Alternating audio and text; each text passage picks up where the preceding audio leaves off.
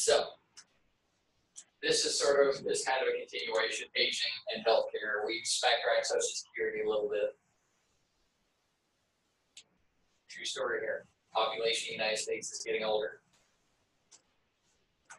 In nineteen seventy, the year a, I don't know, phenomenal economics instructor that y'all may or may not know, uh, was born. The median age in the United States is twenty-seven point nine years old. That meant half of the country was younger than twenty-seven point nine years old. Half of the country was older than twenty-seven point nine. But health improvements, we got out of Vietnam, what is that, that kind of stuff. In twenty fifteen, I need to look it up again. Dude, I forgot. Uh, in twenty fifteen, that number is thirty-seven point eight. Half of the country is younger than thirty-seven point eight. Half the country's older than thirty-seven point eight. That's ten years worth of increase. So the younger half is ten years older, so the older half maybe twenty years older, right? For men, it's less than women because I think we, I can't remember what class we talked about that men kind of do stupid things. And we tend to do things like get ourselves killed doing stupid things. So, and then we don't eat right. Age distribution in the United States, according to the twenty ten census, which maybe we'll actually get a twenty twenty census, twenty twenty. Anyway, what ends up happening? Normally, you would expect you know, the ends of each line, you'd expect it to sort of be like that. Because everybody's born. Almost everybody makes it to their first birthday, but not so many people make it to their 50th birthday, not so many people make it to their 100th birthday, right? You kind of expect this sort of a sort of steady progression thing. But that's not what ends up happening. What ends up happening? We have a bigger than normal group out here. Ooh, Or is it bigger than normal? Or is it that this group is smaller? Maybe this group is supposed to be out here. Maybe, oh, that's- Yeah, I'll give you a hint. We would eyeball it. Those of y'all that take statistics and y'all need to talk about regression and uh, trend lines and that kind of stuff. It's kind of where things should be. Under 10 is smaller. Why? More people go to college. It's not that they stop having it, but more people go to college. And if you're in college, then you're less likely to have kids. Because you're in college. So what you have more people that are waiting. We also have, luckily, a decrease in teenage pregnancy. And that's especially, I mean, that number's gonna be even bigger now when we get the twenty twenty census because the, teens aren't doing as much steaming up the windows in the back seat of a car because they're sitting at home texting one another, right? So they ain't even, how, how many of y'all had, had, there was somebody in high school you see you was pregnant, or health? Freshman year. Okay, uh, when I was teaching in middle school, I had somebody in eighth grade who was. She got pregnant eighth grade, had a baby freshman year. Nice. Uh, but the, okay, so Marcial's hands went up or whatever, but she's, yeah, it, it, it's not happening as much. Teenage pregnancy is down. People waiting to go off to college, or people waiting until they, they're going off to college and so they're waiting on having kids. That number is increasing. So across the board, our birth rates are getting smaller in the United States. And so consequently, this group is a little bit smaller than it kind of should be. I'm really interested, really interested to see what that number is going to come out of the 2020 census.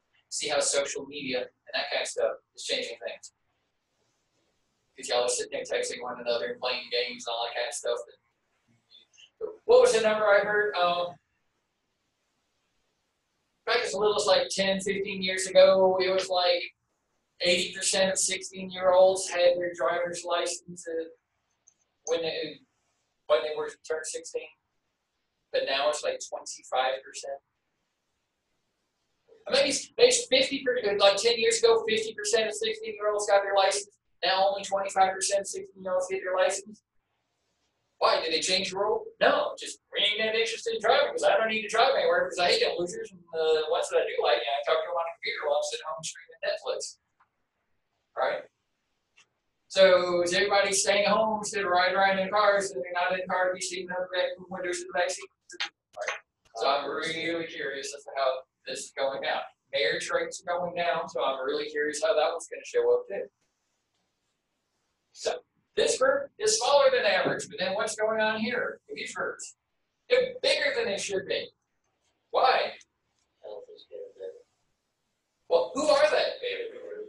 That's baby boomers, right? The, because this group is actually, well, part of it, part of this group is smaller than it should be because, you know, from 1939 to 1945, people weren't having as many babies.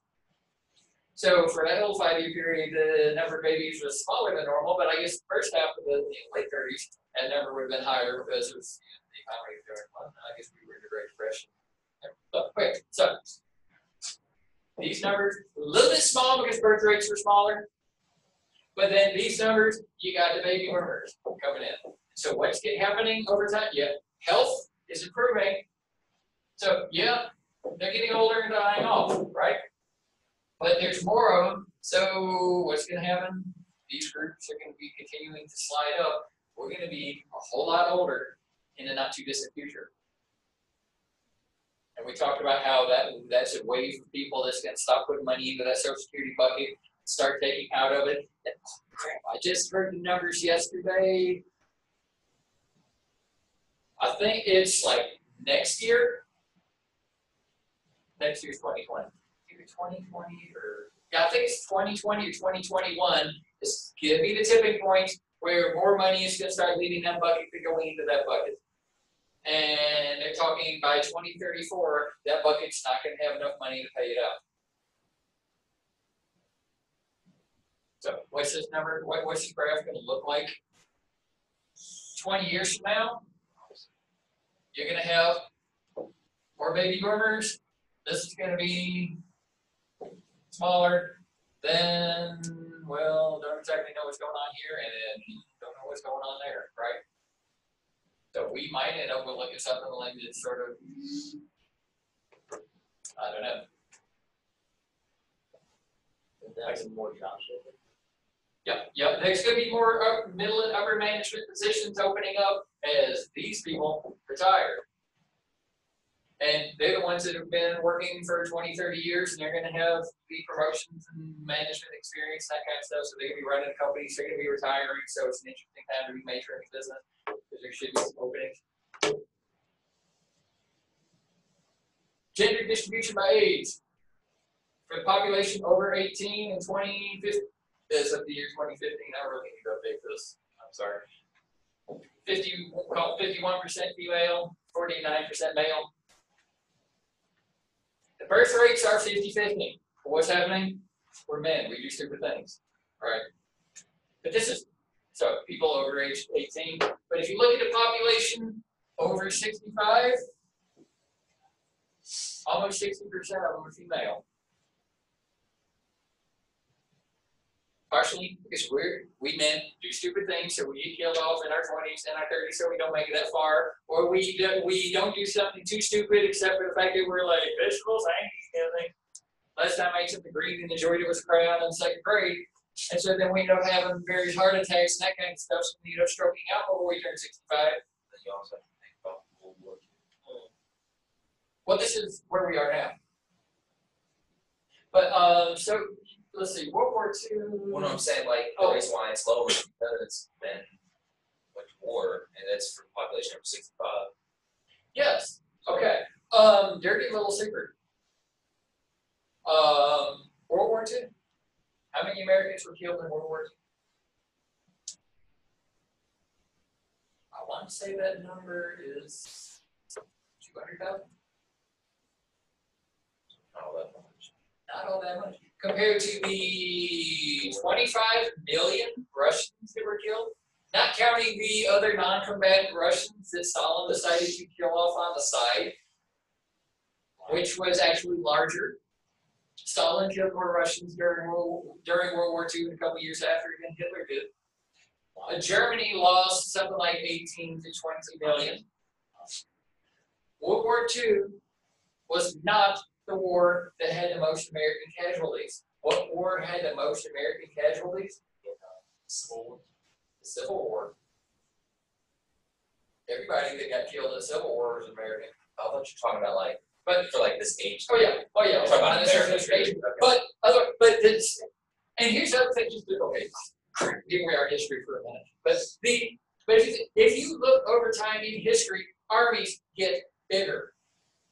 You get to read about Washington and them all, and the, the battles of the American Revolution, it's a couple thousand people against a couple thousand people. Maybe five, six, eight thousand going up against five, six, eight thousand, something like that. Same thing to you, you go back to Roman Empire and that kind of thing, you're talking, you know, the, uh, uh, Roman legions only like eight hundred people, that's including the cavalry and all that kind of stuff. And so you've got a couple of legions going up against a couple thousand, but you get into World War One, World War Two, the armies are bigger.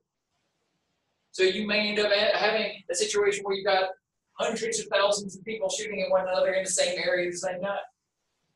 So you have that many more people. Like I said, there are 25 million Russian combatants killed in World War II. But then we as Americans, this is. I don't know. I can't believe it. What did we as Americans actually do in World War II?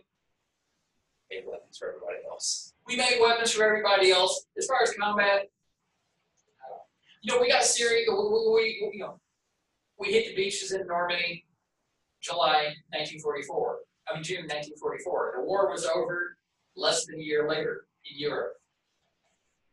We fought for like one year in Europe. We had some troops doing some stuff in Northern Africa. Okay, uh, how about out there in the Pacific? Well, we were really, we're not taking the Japanese at all seriously.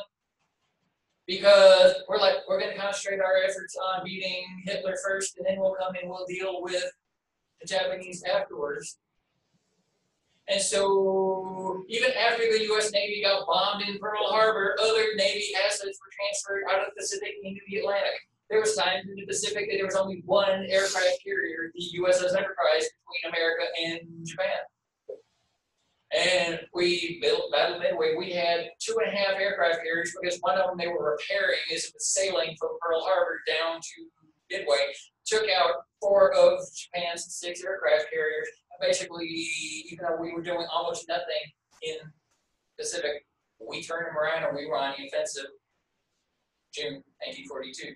And then we did island hopping. I don't want to minimize what the soldiers and sailors did during World War II. But let's just, really step back, what did we, World War One? When did we get into World War One? 1917. When did World War Two, when did World War One end? Nineteen eighty. 1918. So there's a whole lot going on. We come in in the end, putting on our cavalry hats, right to the rescue. World War II, we come in in the end. Anyway, I'm sorry. That's just. I'm not even talking about George Washington shadow boxing for five years, but anyway. Okay, so anyway, you asked one question, but so. So, okay, so if you're a guy over age sixty-five and you're in a nursing home, target rich environments, right? Jesus. Yes. Go. So, um, just a lot of trick fun of it. Our population in the United States right now is sixty-two percent white. This is as of twenty fourteen. These numbers are shrinking. I really need, I can't wait for them to get the next census out. They, though, uh, just was hearing something today that that's gonna be more of a train wreck, but. Sixty-two percent of Americans white. Thirteen percent African American. Seventeen point four percent Hispanic.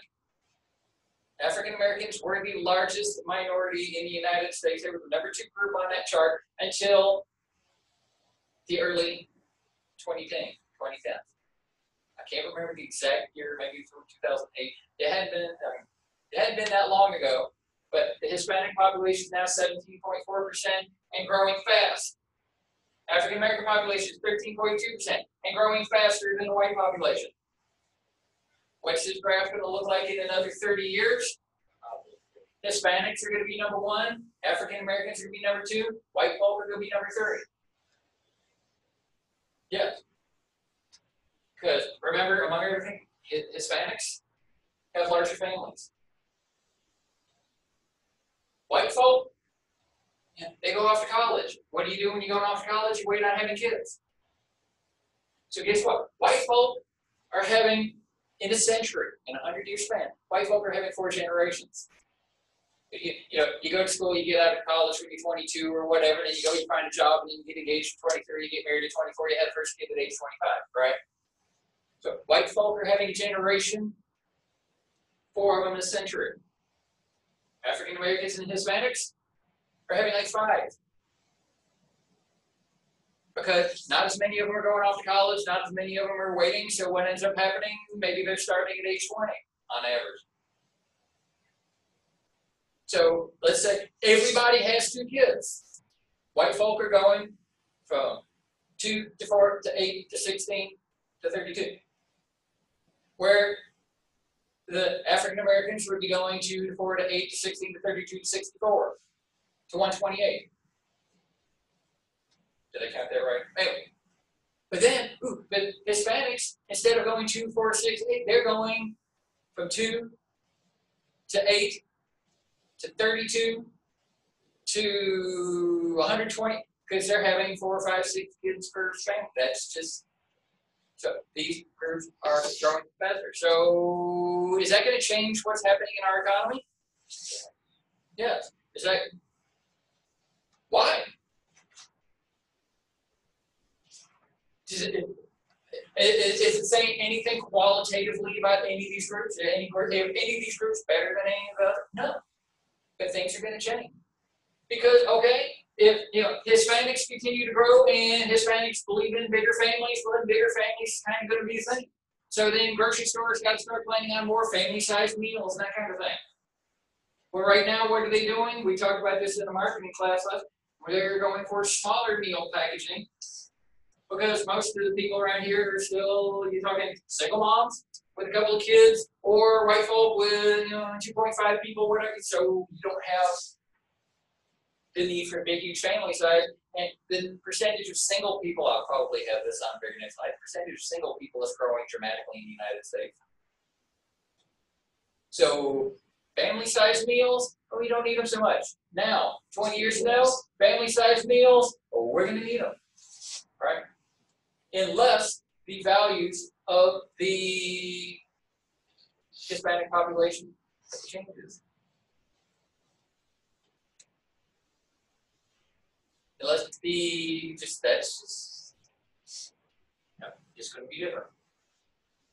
So right now, and we kind of talked about this before, the percentage of workers for every person, workers putting money into the social security bucket for every one person taking money out of the social security bucket back in the, my chart is screwed up. Uh, this is like nineteen fifty, I think it is.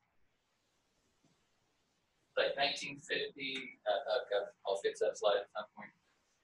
Uh, there's like five workers putting money into social security for every one person taking out. Um, the, as you get to like twenty twenty, it's getting down to like two people putting money in for every one taking out. And then those ones that are taking out are taking out for a longer, longer, longer period of time.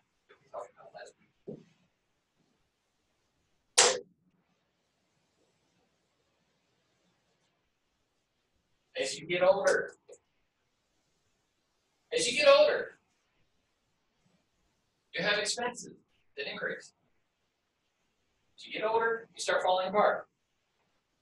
That's what you mean. As you get older, you start falling apart, so the amount of money you have to spend uh, in the hospital goes up. The need for spending in nursing homes and that kind of stuff, long-term healthcare goes up.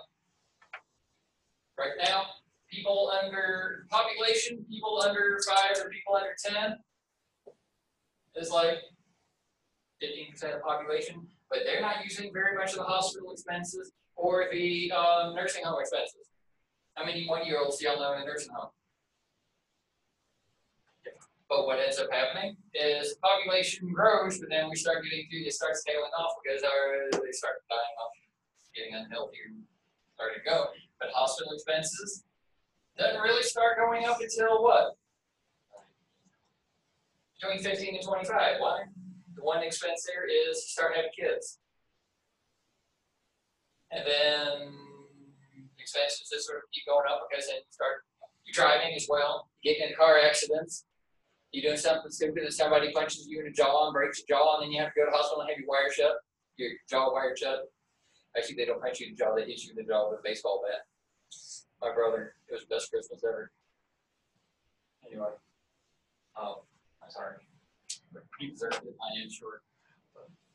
But these expenses, they sort of progressively go up over time, especially yeah, once you start getting into the 55, 60, 65 range, they start going up dramatically. Nursing home expenses, let's see, what's that? Less than ten percent of nursing home expenses is being spent on people less than sixty-five years old. The nursing home, cheap. No, it's healthcare, cheap. I think I told you all at some point this semester, the two fastest growing expenses in the economy today is college tuition and healthcare costs. And so what happens as you get older? I ain't worried about health, I mean college tuition anymore, but what's happening? You're getting older, you're getting unhealthier, you need more health care. And so your healthcare spending is going up. a whole lot higher healthcare expenses for your grandmother than it is for you. But if you and grandma are making the same paycheck, grandma's got it a lot harder.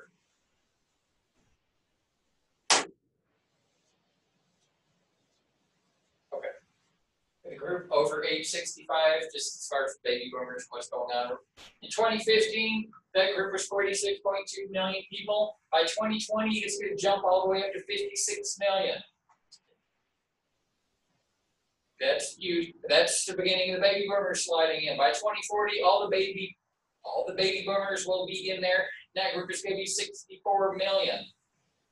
And by the time you get to, to twenty sixty, it's seventy-two million. So you're gonna get humongous growth already starting now in this category. The 2020, 2040, big growth. And these people are gonna need health care. These people are gonna need long-term nursing health care, nursing care, and that kind of stuff. So if you don't know what to do when you grow up, you want job security, something to think about.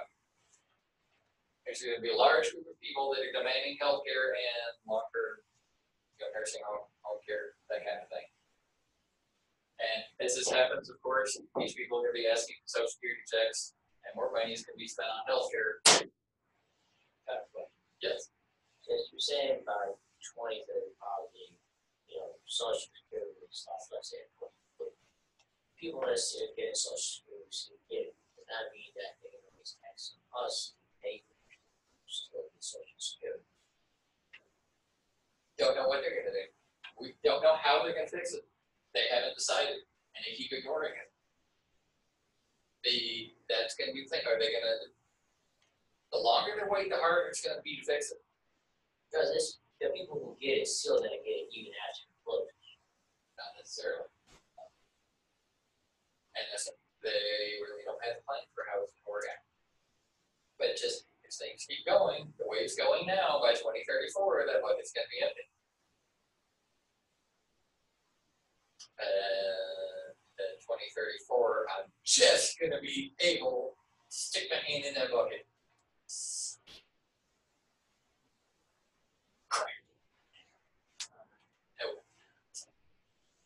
I really actually could not done that math. I, I mean, I'm, I, I, I would be, I would qualify pretty early, but I won't be old enough to later. Okay, so, guess what? Medicare. That's healthcare for old people. What's gonna happen? Medicare, spending on Medicare is gonna be going up by fifty percent. Right, because we're gonna have fifty percent more people in twenty forty than we got right now that are over sixty-five needing healthcare and being paid for by the US government. And where's the government gonna get the money to pay that, pay those bills? Taxes are gonna have to go up sometime. Or else they're gonna start say, sorry, um, you don't qualify, you, yeah, you're old, but you don't get Medicare anymore. Somewhere along the line, they need to adjust, if, they're gonna adjust it, they need to adjust now, say, okay, everybody that's, you know, fifty, if you, if you age between thirty, and if you're born between nineteen seventy, nineteen ninety, well, you don't get Medicare until you turn seventy. If you're born after nineteen ninety, then you don't get Medicare until you turn eighty. But they need to do something like that. Or if they're gonna keep with that promise of everybody, once you turn sixty-five, you get health care, then they gotta pay those bills. And the only way they pay those bills is they've gotta raise our taxes.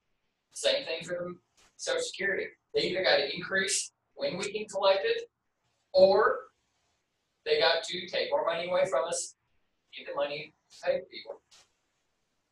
And the longer they wait, the harder it can be to fix it. For those of y'all that were in my finance, in the finance class yesterday, we had a lady in here that was talking savings, and that kind of stuff, and I can't, I wish I could remember, but the one number she had there was like, you know, you even waiting a year, start saving for retirement, and interestingly increase how much you need to save each month. Every extra year, every extra year that they wait to fix, figure out how they're gonna fix social security, is gonna be that much less time to come up with a solution and have that solution go into effect and work and grow and fix the problem. So, healthcare spending as a percentage of the GDP. The United States is actually a leader there. We spend more money on healthcare as a percentage of our economy than most other countries in the world. Then um, most of these are going in. Up in UK. France, Germany, Switzerland, Canada, Japan, United, United Kingdom, UK, Sweden, Italy, and Australia. What do they all have in common? Well, mostly they're Europe. Um, Canada does not, but yeah, but they're socialized medicine.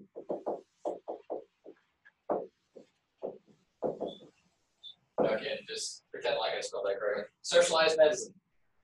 Oh, I have no idea what that's supposed to. Uh, basically, everybody's on Medicare would be the equivalent. Not just old people, but everybody gets health care paid for by the government. Young, old, everybody. So what ends up happening there is where's that money coming from? Taxes. Here in the United States, we gripe among some of y'all paying any taxes, some of y'all paying fifteen percent, some of you paying twenty-five percent. It is not at all uncommon to some of these countries, the tax rate is like sixty percent. Over half of your paycheck each month goes to the government. But you're okay with that because hey, you get healthcare. But then D, which I'm sure I get to it. I'll- say it now because I'm here, there, um, healthcare in those countries. The, the government's running the healthcare industry. So everybody, all the doctors, all the nurses, all everybody, they are government employees. How good does government pay workers? Not whole, not, not that great. So what happens to the smartest and best? Do they become doctors? No. Here in the United States, the smartest and best become doctors because they make several hundred thousand dollars a year. There, not so much. They're government employees. So socialized medicine system, it doesn't pay the work. Uh, It doesn't pay the workers as well. It doesn't pay the companies as well. There's no insurance companies, whatever, that kind of stuff. So where is the innovation coming? Where's the new drugs being invented? Where's the new machines being invented? In the United States. Because the companies know we can invent something new and it's gonna be okay because it's gonna pay off because we're going to make money off of it. Whereas in a lot of those other countries, it's just the government. And so there's no incentive for improvement. There's no incentive for people to really roll up their sleeves, get serious about medical school, and become the best doctor that I can. What, what do you call the person who graduates last in a class from medical school? Doctor. So as long as you pass, that's good enough. Because I got the word doctor, I'm working for the government, boom. We're here. You know, we're sitting, we're gonna go to the good doctor, not the bad doctor. Even if we had to pay more to go for the good doctor that's supposed to pay, well, you're gonna go to the good one, right? And you can pay more, right? That's the kind of thing that we have here. You have people from all of these countries, that those that have money, and they've got something serious going on, what do they do? They the United States, get their medical issues taken care of. Shah of Iran in nineteen seventy-nine, I can't remember what it was, he had cancer made up. He ended up coming to the United States and like, woohoo, that's the time we can overthrow the country, and that's when Khomeini and them all, they overthrew the country, the American hostages were taken for four hundred forty-four days, y'all remember all that? Movie Argo, if you haven't seen that. Just, you know, because their leader had a health problem and left the country. And came to the United States to get it treated because he didn't trust his doctors, because his doctors are being paid the way his teachers are, well, this is, how good do we do with the teachers we have in the United States? How good is our school system in the United States? Do we want our healthcare to be operating the same way as our middle school? That's the consideration there when it comes to socialized medicine. To really put it in perspective. Yes, uh, to, to, that's the thought there. Yeah, we pay more across the board, kind of on average, but you kind of get what you pay for. And if you, everybody had healthcare free, no matter what, there's probably gonna be more people going to the hospitals than maybe necessary. If you get, you- if you get paper cut, and you know it's gonna cost you money to go to the hospital, what are you gonna do? You're gonna look at it and say, okay, and you keep going. But if somebody else is gonna pay the bills, you get a paper cut. Well, there's one percent chance to start already infected, and so, you know, I might as well go ahead and go, better to be safe than sorry. That's what you get. I'm paying sixty percent of my paycheck, might as well go. Yes, I'm paying for it. Yeah, just taking it out of my check, might as well. So, uh, healthcare expenditures, where's this money going to that the government and the health insurance companies are paying out? Where's it going? Thirty-two percent of it to the hospital care. Only twenty percent to physicians and clinics, that's the doctors at their offices to in hospital. Four percent dental. Nine percent prescription drugs, five percent to the nursing home, and that's likely gonna be getting bigger going forward. Home health care is three percent, that number's gonna be getting bigger. Uh, two percent, Sounds like a while. yeah, so, yeah, it's just pointing to, because that's what they, this is very supposed to be over here. Okay. Just, okay, uh, three percent for home health care, other, other medical products, whatever that is. Uh, two percent, six percent investment. Investing in new technologies, new buildings, new whatever, just, uh, public health activity, doing things like, I don't know, giving out free condoms to the high school kids, that kind of stuff, that's part of it. Um, administration, the paperwork expenses. Administration is seven percent of it. So one out of every twelve dollars that you're spending when you go to the hospital is to pay the people that are filling out the paperwork. But where's that money coming from? The number one is only a third of it is private insurance. Private insurance, this is money when you go to the insurance company and you say, I'd like a health insurance plan.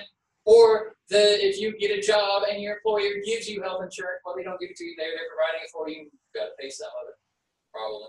But that's it. How many people, how many of you parents got health insurance through work? And all, and all the health insurance for all those people that are working on, that's only a third of where the money comes from? Um, twelve percent out of pocket, we can talk, talk about all of that probably next time. Uh, eight percent is other private expenses, Medicare is twenty percent, Medicaid is fifteen percent. Um, other federal programs and four percent, and then state and local government is the last eight percent. So it's because more people retire than they get Medicaid. Yeah. Older people. Yes, so the Medicare slice is gonna be getting bigger as the baby boomers start retiring. Which potentially is going to actually shrink this one because they're retiring, they're like, woo Medicare, so I don't have to pay, my, my own insurance. But this, but if you think about it. I was talking, telling a story about socialized medicine, somebody else is paying the bill, so hey, you might as well.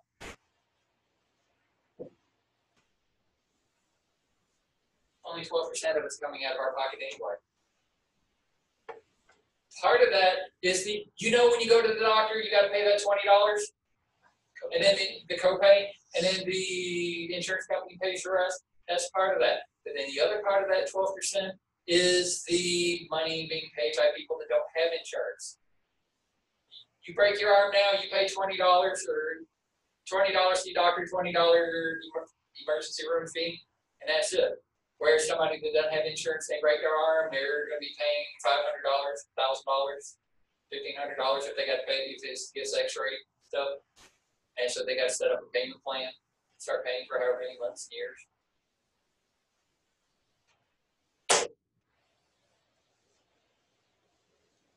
Um. Let me. Okay, I'm gonna save this. Um, stop. Okay, I'm ready to, back where I was. Stop it, I hate you, Microsoft.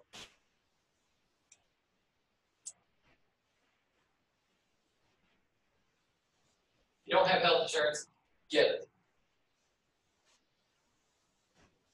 As long as you sponge off, you can sponge off of your parents' health insurance until you're twenty-six.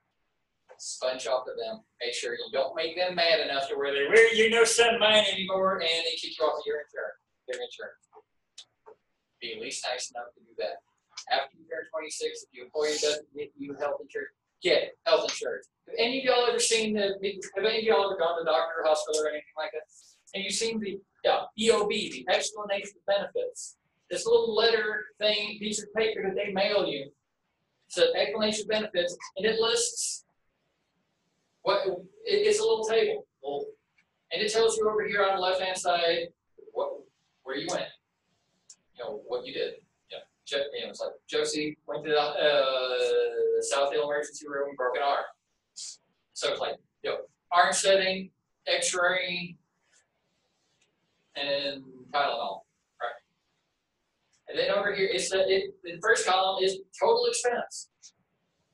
How much does it cost for the x-ray, how much does it cost for the Tylenol, how much does it cost for the doctor? But then they start doing the, uh, in-network savings. Because you have health insurance with a doctor, with, with the insurance company that the doctor works with. So there's a deduction. They're gonna call it allowable charges. The insurance company doesn't deal with the doctors saying, we're gonna guarantee you get paid and paid quickly. Because let's face it, Josie's broke. So if she breaks her arm and something like that, and you send her a bill for fifteen hundred dollars, what's she gonna do? She gonna pay twenty dollars a year for the next thirty years? Good luck with that. So what we'll do is, we'll pay for her, you get money for her quickly, but you gotta sell it to us for bulk discount. And the doctors agree to that, because, yeah, they may try to get fifteen hundred dollars out of her over the next twenty years, but instead, they would rather take five hundred dollars now. So that's the deal that gets negotiated between the doctors and the hospital. So it's say allowable charge five hundred on a fifteen hundred dollar procedure. If Josie didn't have insurance, she's gotta pay the whole fifteen hundred. But then it's like allowable charge five hundred, and then they're gonna subtract out any in-network savings because the, it was a preferred doctor instead of one that's outside the network and that kind of stuff, some more savings and that kind of stuff. So it may end up working out to that fifteen hundred dollar charge, fifteen hundred dollar thing to get her arm fixed. The insurance company might end up paying two hundred and fifty, and then she paid her twenty dollars at the door. She, all total was 270 and only twenty comes out of her pocket because she had health insurance. If she didn't have health insurance, the whole thing, fifteen hundred, and you gotta pay it all. And I'm not exaggerating at all on those numbers. The only thing I'm wrong on is probably saying it's only fifteen hundred dollars to get a broken arm set. It's probably more than that. And part of the thing is, well, they're gonna be like, well, you know, if you're insured, we know we're getting paid. Josie, I don't know that you're gonna pay me. So what's the odds that she's gonna pay? Uh, I'm gonna say it's a twenty percent chance she's gonna pay. Twenty percent chance Carrie's gonna pay, twenty percent chance Connor's gonna pay. So twenty percent chance of Will and Matthew gonna pay, so if I charge each of them fifteen hundred for a three hundred dollar procedure, well, guess what? If one out of five of them pays, I get that fifteen hundred dollars, the same I would have gotten if I would have got 300, 300, 300, 300, 300. That's part of it. If you don't have insurance, you're helping to pay bill, your bill so high to help offset the expenses of other people that don't have insurance too, because see you just as risky as they are. Of course, you, for health insurance, who, have health insurance are helping to pay for other people who are less healthy than you.